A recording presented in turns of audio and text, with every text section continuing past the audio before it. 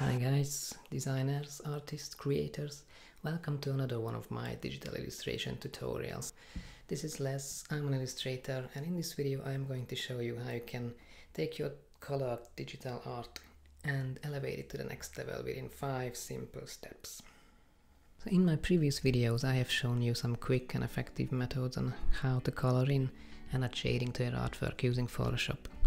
Now with this tutorial I want you to take all of my previous lessons on board and I'm going to go over some additional tips and tricks which will create an even better looking digital painting.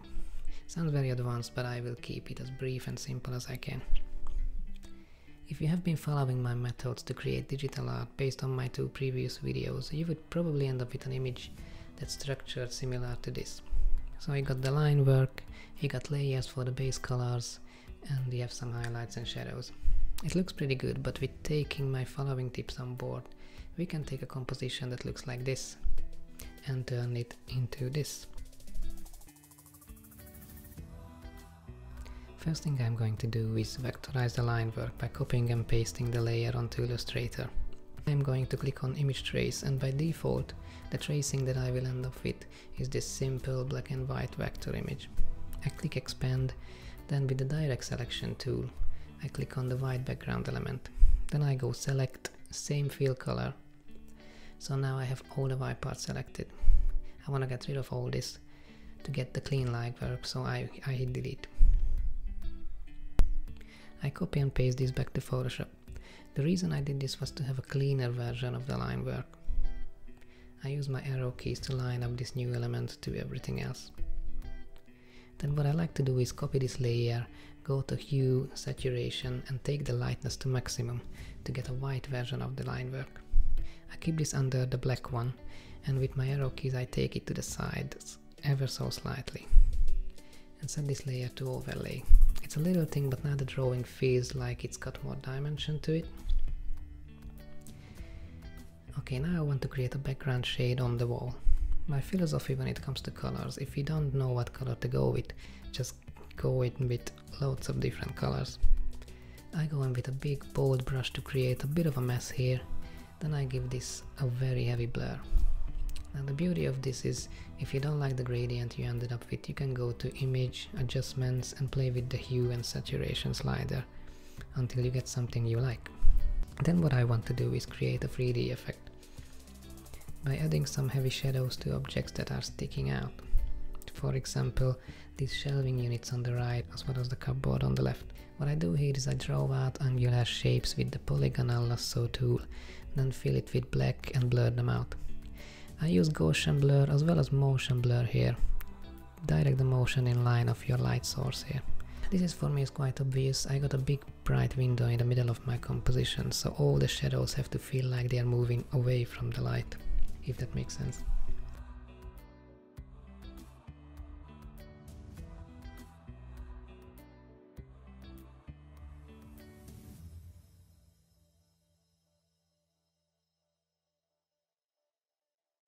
Okay, I want to do the floor here as well as give this table a big shadow.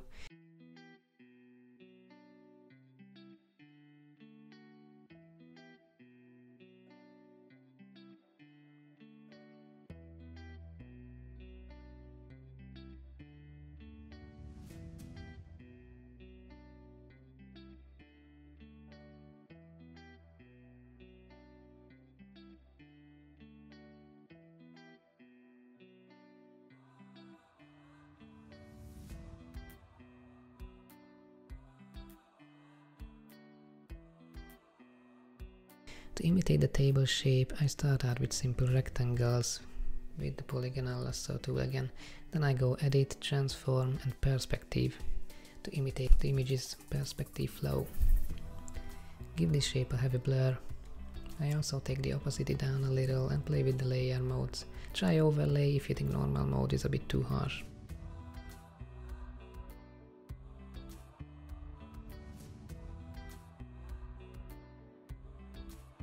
I also give some shadows to some of these scattered around objects.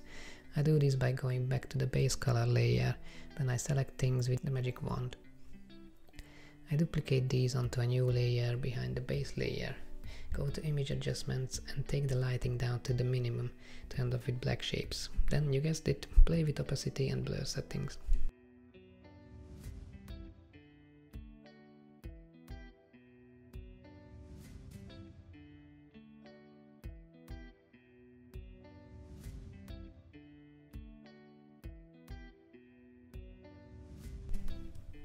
Want to do the exact same thing with a white rectangular shape to create the effect of light coming through the window. I quickly mimic the window shape with the select tool and use the perspective tool to distort it. Blur it then put it onto the floor and put it to overlay.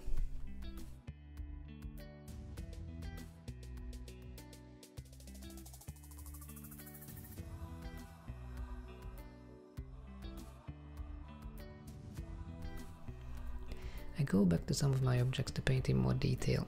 One golden rule about image making that you should definitely know is our eyes are attracted to detail. So you should give more work to elements that you want the viewer to focus on. Because our brains tend to make less notice of the parts in the background that do not have that much detail. You can also take advantage of this brain cheating phenomenon when you want to create the impression of 3D. Put more work into making your elements look great that are in the foreground. If I add more detail, more contrast, generally more work to this table here, it will feel like it is closer to the viewer than those objects in the background. They will feel further away. Okay, what else is closer to the focal point? These lamps need some more work, and so is this picnic basket.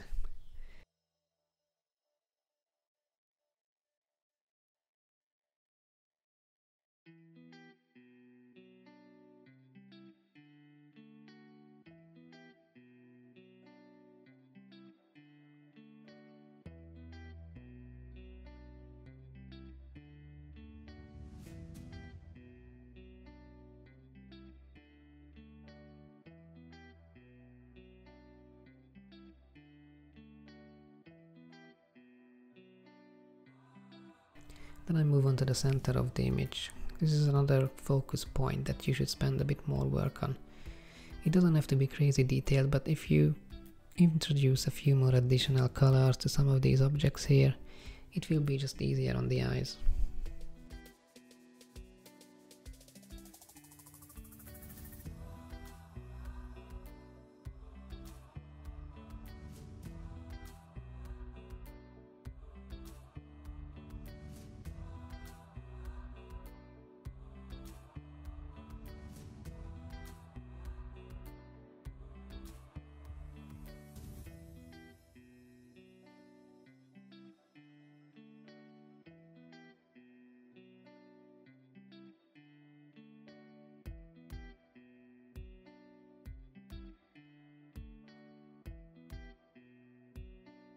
Then I experiment with texture a little.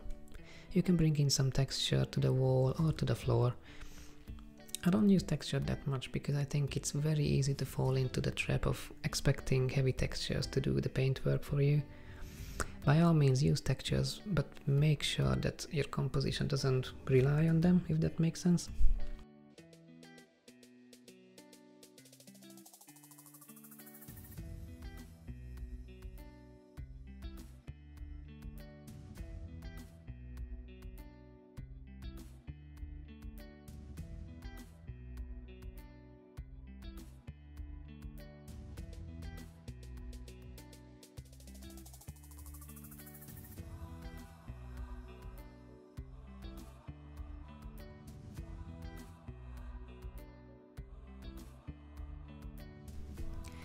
Okay, another thing I want to show you is how to bring in a realistic looking light source. You create a layer on top of everything and fill the layer with white. Then go to filter, render and lighting effects. Then you get this light source here. So you can change the color of this as well as have quite a few settings to play with. You can change the light source, the direction, the intensity, the shape of it. I click OK. Then I set this layer to screen mode.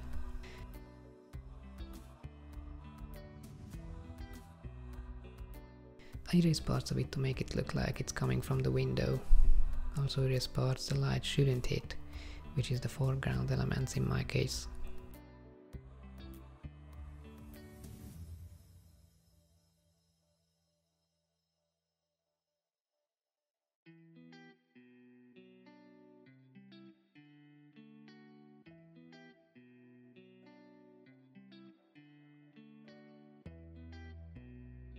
I zoom in one more time to give some additional details here and there and uh, I think we are done.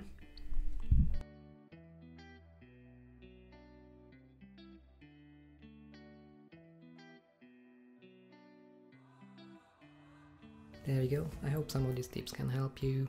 I know it's, this is quite a lot to take in, so if any of this didn't make sense or if it was too quick for you, feel free to leave a comment down there and I'll try to explain everything. Okay, send a thumbs up if you like this video and I'll see you next time. Bye!